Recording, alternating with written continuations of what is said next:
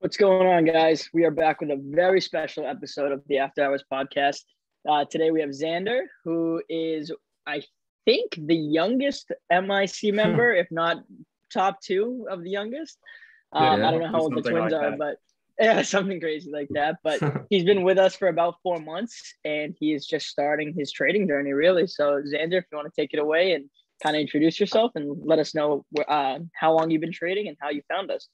Awesome. Yeah. So, um, fun fact, I got started way back in like 2017, uh, and I was actually Wow. 13 years old uh, in seventh grade. And yeah, the way I found out about trading is just the Robinhood app in general. And so I basically downloaded it and I funded it with 10 bucks. And after just like messing around with it, I started getting ads from Tim Sykes. Yep. And so I looked into his YouTube channel and I mean, I just it grew from there and I I did educate myself about it, but I didn't really dive into it when I was 13 cuz Yeah. you know, uh we have like a short uh interest span. Yeah, yeah. so I went on to something else. Yep. So the pattern was that I would literally just get back into trading for a month every year. And so I, I kind of just went off and on. Uh, but really until uh, I think it was 2020, um, I I got I was like, you know what, I gotta get into this because I'm getting near the end of high school. I think I was in like my junior year. Um, Mhm. and so what I did was, you know, I started really focusing on it. I got deeper. Uh, I learned more from like Tim's students, like Jack Kellogg, Yeah. Matthew Monaco, and stuff Yeah, and that was really helpful. Um, and I was trading OTCs, um, but I, I decided to go to MIC uh, because OTCs uh, did not have like a process.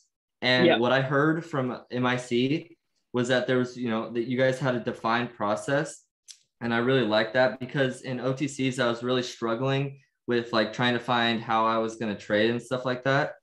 Mhm. And so, yeah, that's why I wanted to join MIC because I knew if I joined, there would be like a defined process that I could follow. Uh, yeah. But How'd I you did, find MIC? Was it Twitter or was it like Instagram? yeah, or- it was actually the Beyond the PhD podcast. Um, Oh shit! and Look at bo- that. from both you and Harry's podcasts on there, I was like, you could hear like the passion of MIC in your voice. And so I was like, wow, this sounds like really, really That's cool. awesome. And I was like disciplined to sticking to OTC. So I'm like, you know what? I'm not going to switch. But then I was like, you know what? I, I got to try a month just because it sounds so good. Yeah. Um, which I'm so glad I did. But yeah, kind of going back a tiny bit. Um, I got full time into trading, like full time meaning, you know, like every free second of my day, I'm tra- Yeah. I'm studying and trading and stuff like that. Uh, that started in February 2021, Cool. and so that's when I started there. And then I got into MIC about three to four months ago, and uh, you know, it's been it's been awesome so far. That's awesome, man. That's cool. And and so you've been now during that time when you were 13, or even up until like when you recently just got into it, how many trades do you think you were taking, or if any, or were you just kind of like had that interest, didn't know what to do yet, just kind of like dipping your toes, kind of thing? Right. Uh, I mean, it, I probably just made a couple of trades. I think I went way back, and I think like my first trade was on DRYS or something like that. Uh, you know, and and tops like the shippers when they were Yeah. running. Oh I my think that was, like, my first insane. um, but I, I, I don't know. I remember was that like it was yesterday. yeah, I was just like buying and selling. Um, but then in like 2020, I really got into it and I learned like like you know all I, I learned everything about it. So I was really educated on it. And so when I came back into it on in 2021, like throughout throughout all my high school, I knew that I wanted to become a trader. I just was not disciplined enough to study and stick to it. I got into gaming and like other stuff like that. And actually, I was trying to go pro in uh in gaming. And I I work I worked like 10 hours plus a day, but I was just literally seeing zero progress. And so I was like thinking, I knew like if I had put that much time into trading, I would have seen progress, but in gaming I didn't see any progress. And so it's like, you know what, I've got to dedicate this much time into trading and I'm going to see huge uh huge growth compared to gaming. Yeah, and I think with the uh, the gaming side, because like I've talked to a lot of people like this. Like uh, one of my friends, Brian Lee, he was. Oh, I was just gonna say, yeah. he was a professional gamer at one point. Yeah, um, you know, even Jack Kellogg, like Jack loves to game. Like Yeah. me and Jack, like Jack at one point was like my tab. Like me and Jack go way back where like, you know, I remember when Jack was like living with like Dom and like me, Dom and Jack would talk every day. And like Yeah. we they were like trying to get into listed longs and like I was like, okay, like maybe I can like learn about some OTC trades. So we kind of like traded off like that. Um, and obviously like Jack, super successful OTC trader. Obviously, I'm kind of a successful NASDAQ long. And we ended up kind of like just kind of saying, like, okay, like Harry's good at longing. Uh, he's like, you know, Jack's good at OTCs or whatever. But like those are also guys who like, you know, really enjoy that kind of like, you know, gaming. I, I know a ton. Like I've heard of a ton of traders who have like, you know, they they wanted to go pro with gaming or like they were like involved in gaming and then they kind of like kind of moved on towards trading. So I think that's kind of cool how like um, you know, you kind of uh said, okay, obviously I, you know, you don't see progress through gaming or i mean maybe you know maybe you could have like i'm not really sure like you know i don't know you never know in these types of like situations but you know um i guess like that kind of brings me to another point. So like you kind of you started through gaming and then you got into trading and then you kind of like learned that mic was kind of like a repeatable process and stuff like that. Um what what do you think what setups have kind of like helped you kind of like along the way like during your journey? Was are there any like key things that stand out that kind of have like kind of brought you like to consistency or like maybe like you're close to consistency or any stuff like that Yeah, so I do have something to talk about. So, um, I was, you know, the first month of MIC, I was just learning all the content and stuff, and I was actually longing. Uh, but I quickly switched to shorting. Um, but what I what I decided to start on were, was death candles, and as you know, they have like not been working the last two months very well. And I was just, you know, I was just getting trapped and trapped and trapped. And so I, I reached out to After Hours, and I have like a whole YouTube video on this uh, where I just talk about like the advice that you all gave me, where I was shorting the bottom of the range because you know death candles they they death candle through VWAP you short it you're somewhat like in the middle to bottom of the range and so you're just getting trapped back to the top. And so the best advice I got was to short the the top of the range and first resistance and stuff. Um, and so probably the first resistance and just line to line was the best advice I got from MIC and just the best kind of general setup to just go line to line and not short the bottom of the range. It's kind of crazy to me how much the market has changed, like even since I started, like even just hearing you talk about it, because like even death candles, man, like, dude, when I first started trading, if you saw a death candle, like, it was like an auto short. It was literally Yeah. like if you saw a death candle, like I literally wouldn't even wait for a pop. I would just get in and like start shorting. And I remember me and Tosh used to trade on the phone together, and he'd be like, just keep shorting until you get half the death candle. That's your risk, kind of thing. And it never failed. And I remember when you messaged me and you were like, dude, like every time there's a death candle, I short. And in this market, it just gets reclaimed or it goes back to the top. Or like, you know, I mean, I think death candles now are like over overused. I think at this point, it's like you need that massive candle that like wrecks Right. the entire play, or else it's nothing. I mean, I've seen death candles that like look like, hey, it's a little higher volume than the rest. They get swooped up like it's nothing. Yeah. So that's so that's tough. So how have you kind of approached, I guess, trading lately? You know, like are you how are you progressing size wise? You know, what kind of level of success are you finding? And I guess what are your biggest like struggles at this point? Yeah, so this is what I really was excited to talk about. Um, Yeah, like good. one of my biggest struggles in trading has just been like finding a setup that's right for me. Mhm. Um, because I know once I find the setup that I work well with, I'm just gonna just run with it and I'm gonna do really well at it just because I'm gonna dissect it like entry to exit. I'm gonna be able to, you know, I, I want to Yeah. maximize everything about it. But I'm just really struggling finding a setup for me.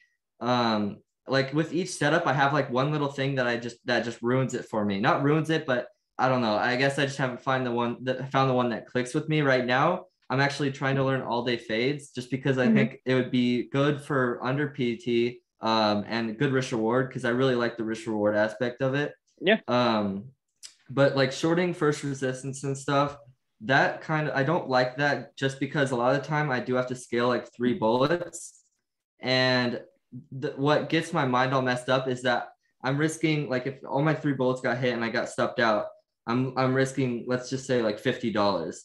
But if only one of my bullets gets hit, and I'm nailing and bailing, then it's going to be, you know, 10 to maybe $15 gain. Now I know adding to winner is what makes that like really good. Um, and to get you, you know, one to one, maybe I'd get that $50 gain if I added to the winner. I guess I just haven't, you know, been good at adding to winners yet or something like that.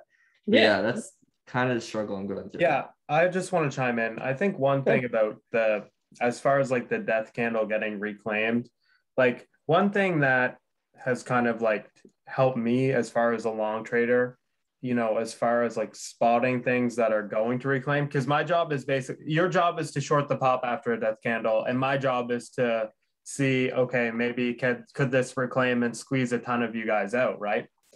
And if you kind of look at you know the way stocks have been trading recently like these these bigger players in the market like leave the same footprints every time you know? Like we had for instance life. Like drew i don't know if you remember life but we would kept keep getting a death candle and keep reclaiming. And you if you look at the death candle at the start of the day and then you look at the death candle at the end of the day both of those are completely identical right? They they did nothing different they did you know they you know whoever was rigging or running the stock or whatever algo you know they don't even try and hide that they're going to do it again you know? But it's just these people over and over and over again that like see a massive red candle think oh the stock is done the stock is done and they slowly slowly slowly turn them out and pop the stock again. You know that for me is like it's been you know a super big edge because the same players are going to leave the same footprint every single time you know and that's where you can kind of pick up these kind of little nuances and you can see it before they dump a stock as well you know maybe you know a stock has a habit of you know, popping 50 cents over high day and then stuffing and churning it lower, right? You know, so I mean, for me, I think as far as the newer market, it's been, you know, adapting to things like that that's really kind of helped me. Yeah, for sure. I think yeah. I think it's tough because like right now, obviously the market's changing pretty quickly. Like we go from this like kind of slow period to like this. And like for Zander, like I feel like for you, like it's tough, right? Because you want to find the setup that makes you comfortable. And we talked about this with Joe Angelo is that you need to find a setup that no matter what, you're comfortable trading and like you know it like the back of your hand. Like for for me, my bread and butter is like, in my opinion, like a VWAP projection. Like I think I could do that with my eyes closed. Like I just understand it and I'm comfortable doing it, right? So a lot of that is going to come, I feel like, for you over time and screen time of just like doing these yeah. setups and then recognizing like I just don't understand. And that's okay because not every trader is meant to trade the same setups. Like when I try to explain like a VWAP projection to someone who does trade all day faders, they just, it, their mind doesn't see it that way. And that's fine because like I don't see all day faders the same way that Bear or Tyler uh, Carmelier does either. Um, I think for you, as far as like we've had this conversation with the risk reward aspect, like it's true. It's like if you're scaling into your position to your max size, which I I never recommend. I don't scale full size because my problem was as I would scale full size and then my losers would be massive. and my winners, like again, it was the same thing, right? You might just hit one bullet and then you got to figure out the rest. So for me, like when you're hitting the first resistance kind of trades, that's a lot of art. And I think a lot of like learning sizing, which comes over time. Because yeah. it's true. It's like if you just hit those first two bullets, like I learned this from Alex and like trading with Alex. Like once Alex gets that kind of confirmation to him that the trade is on and that his line worked, then that's when he starts sizing in. And he kind of sizes in without fear because he recognizes like this is his confirmation. And I think a lot of people struggle with that. And I think the thing biggest thing to remember is that when you're scaling multiple lines, especially like if you're using the 30% rule, um, each line to me is just an area of interest to start the trade. So like once one gets hit, but if it that first line gives me the signal that like this is the line that's going to stop, that's usually where I'm saying, all right, I'm going to size in now and now set my risk according to this line. Whereas I think people get so confused where they size into a line and they keep their original risk and then their risk is all messed up and they think they're only getting one to one. But in my opinion, once you learn to size into that appropriate line, once you get confirmation, that's kind of when when I think the game changes. Austin has a great webinar on sizing into um, using max size, and it's it's a lot of feel at, at, a certain point. There is kind of no science to adding size, and um, it's a lot of art involved in that. And I think the science is kind of in scaling, but that nuance of learning to to size in is something that just it's weird, but it does come over time. Yeah, and I think yeah. I just want to mention one thing. I think when you know, uh, I think Alex kind of does it similar to me, where we have a lot of kind of like internal dialogue, where like we know that if a stock hits you know this particular area, we know what it should do, and when when when you have that kind of you know voice in the back of your head and you're you're you're talking to yourself and and you know you're really kind of paying attention and you're like okay if this hits you know uh, 450 it should tank off 450 and if we're supporting you know 445 430 then eh, i'm not going to add here. Maybe i'll add a little higher but you know i'm not going to size into the trade. And it, it's that kind of self-talk for me at least that you know allows me to kind of maybe add a bit higher or add a bit lower or you know it's doing what i want it to do. But when it's not doing what i want it to do and i'm like oh this should be if i find myself ever fighting a stock or i find myself ever saying to myself you know oh like you know if i ever use the words like come on i know that i should probably take the trade off right like you know, you're maybe you're break even or maybe you're down 10 cents. You're like, oh, come on. Like you can kind of move up a little bit. You know, that's probably a time for me where there was either something wrong with my entry initially or it's not doing what I want and I should get out. But it's just having that kind of self talk before you enter the trade that makes it when you're in the trade so much easier because you're not stressing and you're not like, oh, what should this do or what should that do? You kind of have it all planned out. Like, I want to be in at 15 and I want this sucker to tank immediately. And if we blow past 15, well, I'm going to have to stop out or maybe I have a plan to add a little higher or whatever, right? I think yeah. you know what helped you know what helped me out a ton was once I identified um, my setups, like what I knew I wanted to trade. So like I knew I wanted to trade like first resistances. Um, I wanted to trade, uh, you know, VWAP projections or VWAP breakdowns, whatever. I used to record my screen like every day, and I don't do it anymore. And it's something that I actually kind of miss because it was really helpful. But I recorded my screen every day, and Harry just kind of reminded me exactly what it was. But I basically would just record my screens and on the setups that worked for me and that made me the most money, I would watch those pretty much over and over again because, like Harry said, I knew what they were supposed to do. So now when I see a VWAP projection coming, I have this like internal like memory bank of stocks that have done exactly what I wanted to. So if you're going to be getting into all day faders, for example, if you're going to be getting into whatever kind of setup I really recommend recording the screen on any setup that like, you know, Bear or Tyler or whatever are watching and the ones that they are successful on and the ones they aren't. And then you really kind of can, that's your big study point is you get to see what is this supposed to do? You know, what are the stocks that fade all day or what are the, if you want to learn first resistance, what are the stocks that hit this resistance and fade? What's the difference? And Harry's right. Like you kind of know immediately now, like once you've done this long enough, you're like, oh, wait, this trade's working for me and I hmm. know it is because I've seen it a million times. Like, for example, like even today on um OP, whatever that stupid stock was that was fading, you know, like it just was one of those. It, I've done it a million times. I just short balances under VWAP on a broken stock. I knew exactly what it should do on every bounce. I felt comfortable. I felt like in the driver's seat. I never once felt nervous because I know 100% what it's supposed to do. There's a giant dog outside, and uh, yeah. and that just and that just makes it easy. That just makes it way easier for me. And I think for you, you know, because I I think you're an overthinker, and it's not a uh-huh. bad thing because a lot of traders are, but I think you you curb overthinking by gaining the confidence and seeing the setups over and over again. And once you get that, the kind of overthinking can subside, and you just know you have this like memory of what things should do. Yeah, yeah my, keep, was, you can keep going. Okay. Um, yeah, I, I definitely agree that I'm an overthinker, and uh, I think the problem with me that I, I don't like I don't stick with the setup long enough to learn it is because I'm like so systematized, and I don't think I'm loose enough. Like when I see a setup and I think it's a good setup, I don't take it for for some reason just because I, I'm scared I'm missing something that is going to prove me wrong about it.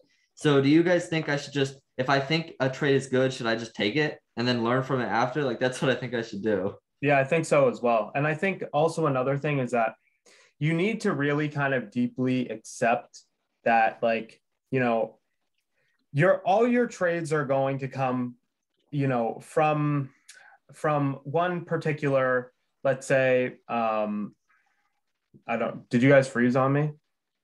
No, I think we're just sitting really still.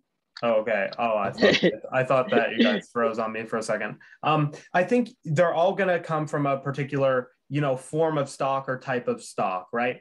You know, for me, it's going to be those stocks doing really good volume that are churning higher, that are over VWAP, that are kind of moving really, really well, right? That's the brand of stock that I like to trade and what I've gotten good at.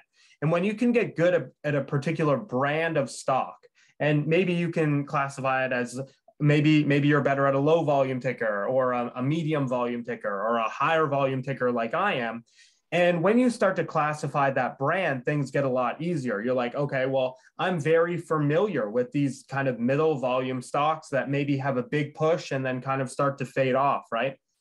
Um, and so it's it's kind of recognizing that type of stock you know all your all your bigger gains are going to come from one of those core areas. And now what you need to do is accept that okay you know i'm not going to get the same signal every single day. There's going to be different types of signals that are going to trigger me into a trade. But you need to trust that the screen time that you've built and the time that you've spent is worthwhile, right? And maybe, you know, it, it, it, takes a little bit to prove something to yourself, or maybe it takes a little bit like that. But you have to kind of deeply accept the kind of uncertainty and you have to develop the type of trust within yourself to kind of say, okay, you know, maybe I'm not going to get the same signal or the same holy grail, grail or whatever, but you know, I trust what I've learned and I trust the process. So that's going to make it a whole lot easier. Because I think the problem with a lot of people who want all day faders is they want this holy grail all day fader system, something that is going to pay them out every single day. You know, I've done this data on Excel or whatever. But the reality is, is that, you know, I've seen a ton of people try that and I know maybe one or two that are really, really, really profitable, and Bear is one of them, right? And you know, the thing for Bear also that you can argue is like, does Bear have an edge through Excel, or does Bear through and have an edge through seeing the same shit over and over and over again every day and developing, you know, his knowledge of how tickers act and you know his experience through whatever, right? So I mean, there's that argument that you could make. And also, I think that you know, everyone's just looking for the holy grail, but I don't think there is one. You know, I took, let's say, five different long trades today, and they were all because of different ways, you know, and I can tell you why I took them. One was a buy into strength because I thought we could squeeze people out. Another was kind of a support buy because I figured that we were holding VWAP well. You know, they're all derived from different things, but the one thing for me has been that kind of screen time and that recording. And I'm also making those trades on a brand of ticker that I know has been paying me out a lot, you know? I think I think a lot of people like misunderstand with Bear that what makes him good at what he does is that he has a, a system and it's funny i've seen bear stray from his system like twice and two of those times were losses and he just sticks to the exact system. Like I, I kind of know what he does. We've talked about it. You know, he when he gets his entry because he has his signal, his next entry is systematized. There's a reason why he's not just getting in to get in another spot and get bigger. He's adding on a specific point for specific reason. So Zander, for you, where I think is going to cause you like trouble on your setups is just that, like Harry said, the trust in your system needs to take place. And honest to God, I, I'm a big believer. I always relate trading to sports if you want to get good at shooting free throws, what do you do? You shoot free throws, right? So you start small with trading, and we have the system for it. We have the process in MIC that you find your setup and you trade really small, right? You trade with 10 shares if you want, you trade with 100 shares, wherever you're at. And then what I did was I just had a graduation system of growth. So as I saw a setup that was working, I knew right away. I started trying to long too, and I longed with 100 shares, and I realized I was losing every time. So like right off the bat, I'm realizing, wait a second, I can't gain size because I'm not consistent. I'm not green at all. So this setup's not for me. But once I found the setup that was for me, I just started in really small. I mean, I'm talking, you know, whatever, 50 shares or something. And then as I found consistency, I knew I could size up in it. And once you see a setup that works that many times, like your brain just starts to click and you just start to understand, like, okay, like I'm confident enough to hit this setup. Like everyone, every I get DMs all the time, like, how did you know that you that to hit this spot? How did you know to short here? Why did you add here? And it's like because it's like I've seen it work a billion times now, and like at, over time, and I think that's where like for you when you're young, it's kind of tough too because like I don't know if like the numerical like dollar value is tough too, and like it's a lot in your head, it's a lot to think about. But I really want to see you kind of like dumb it down and just say like this is the setup I'm looking to learn, and this is where I'm comfortable, and I like this setup because of X, Y, and Z, and I understand it. Like Harry said, he knows he knows his playing his playing field. He knows why stocks that are moving prices, everything. Like he has his like matrix. And i think you need to kind of work on finding yours and then just slowly growing. Because yeah. we talk a lot right? And like and like you you know what you're looking for. But i feel like you're you're just like tyler dude. I used to talk to tyler cormelier all the time and, and he overanalyzed every little detail which is okay. But it's time for you to find that setup with, whether it's all day faders or whatever and kind of zone in on that and kind of set your focus don't worry about what harry's doing what alex is doing whoever find your setup, find your matrix, find what makes you comfortable. And I think you're going to notice a, a massive difference. Yeah, I agree. Should I, should I like, because I'm scared I'm going to sacrifice a month on focusing on one setup when I could have, you know, kind of tried both and found in one month which one I wanted to pursue. Like, can I like do multiple setups? Uh, like the main one uh, that I have actually been profitable somewhat at is like the VWAP short, like you're talking about. Um, mm-hmm. But I just I haven't I I don't know why I haven't stuck with it. Probably I don't know to be honest. Do you think you're just like? Do you think when you see a VWAP short, you're just nervous because of being burned in the past? Yeah, I think I think so. Like I'm just scared of missing that one key detail. Um, but yeah, like I don't know. I think it would be fine if I tried all day faders as well as like the VWAP short because all day faders haven't been happening that much. And so once I finally see a 50% plus gapper, I can play it like I have a yeah. system for all day fades. So I'm just waiting to have a little ticker on. Uh, yeah. Uh, yeah, sorry, I think you just zoned out there a little bit. I don't think there's anything wrong with like doing both setups as long as you can differentiate them and you don't try to combine them. I think that's where a lot of people get into trouble is when they try to like, you know, they, maybe they start in an all day fader and then they try to short the VWAP projection. Like you need to identify that like this is the setup I'm trading today and this is the setup I'm trading right now. So like I can't mix up the two.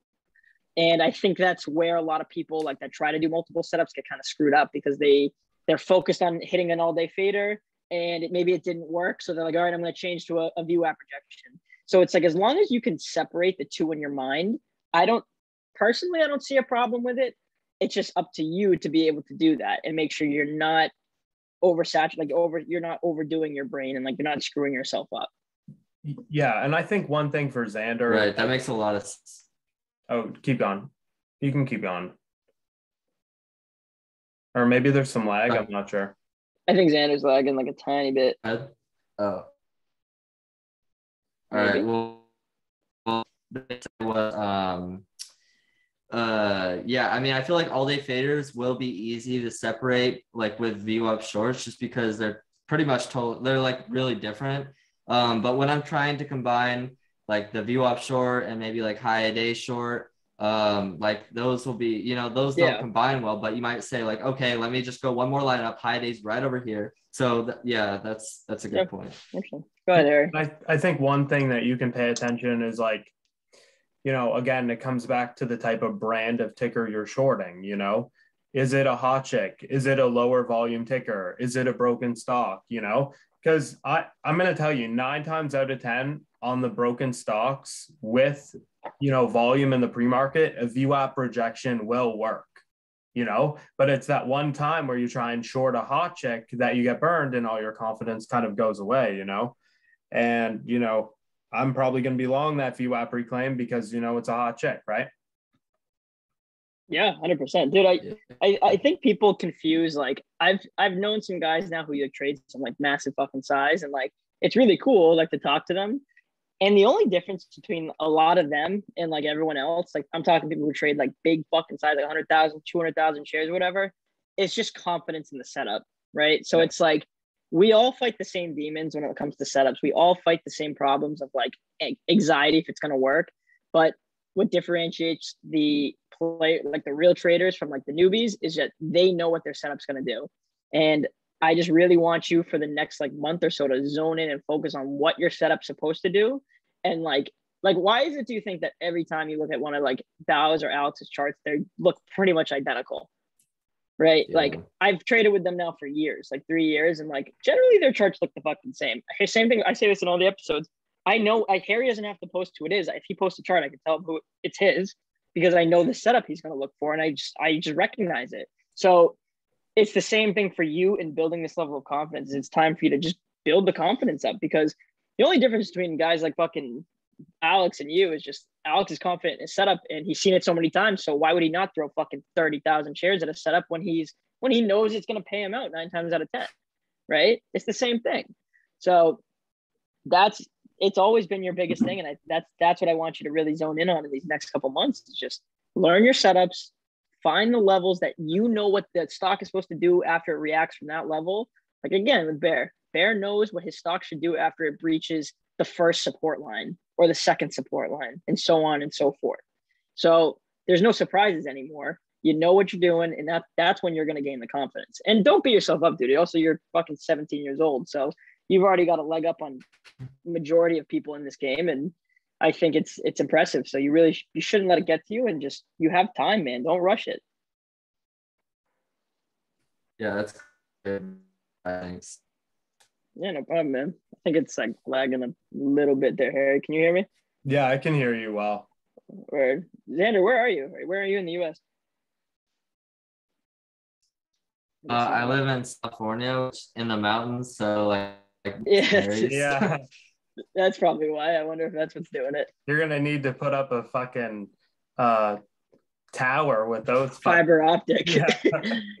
Jesus yeah, Christ! But yeah. I mean, we're coming up on our time anyways, but is there anything else, Zander, you had, you wanted to ask before we wrap it up?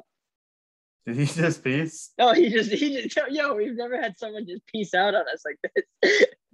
All right, well, I guess we'll cut it off here, but yeah. um, you know, yeah, I mean, yeah, whatever, fuck it. All right, boys, peace out. yeah. Right. yeah.